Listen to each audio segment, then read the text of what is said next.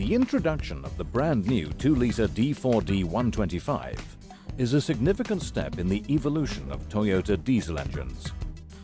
Derived from the 2.2-litre diesel engine, the new D4D 125 develops 126 horsepower and 300 newton meters of torque from 2000 RPM to 2800 RPM.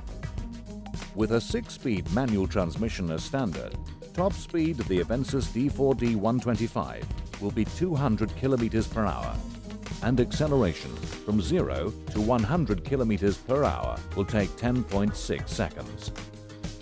The new D4D 125 engine will be available in two versions to suit market conditions across Europe. A D4D 125 with diesel particulate filter and a D4D 125 fitted with an oxidation catalytic converter. Both engines comply with Euro 4 diesel emission regulations and deliver the same level of power and torque.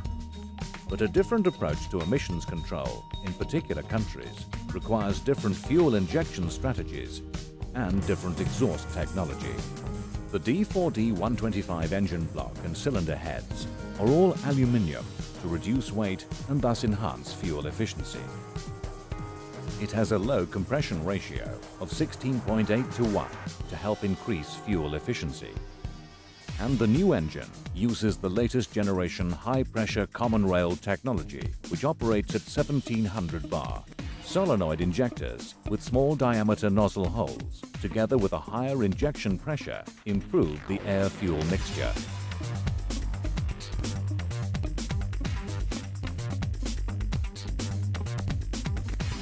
The D4D 125, equipped with the diesel particulate filter, joins the D4D 180 DCAT as the latest member of the Toyota Clean Power family and inherits a lot of the technology first seen on its more powerful stablemate. For example, both have five fuel injectors, four of them used for in-cylinder combustion. These can perform up to five separate injections during each combustion cycle, allowing a precise control of fuel burn. This ensures reduced combustion noise and very low smoke. The fifth injector is located at the exhaust port and has a specific function in reducing emissions. Unlike many other particulate filters, this Toyota DPF is self-cleaning and requires no maintenance. It is developed from the system used in Toyota's highly successful DCAT technology. The filter consists of porous ceramic substrate channels. As gases go through the substrate, the particles are trapped in the substrate pores. If temperature conditions are favorable, some of the particles are burned off by combustion with the available oxygen in the exhaust gases.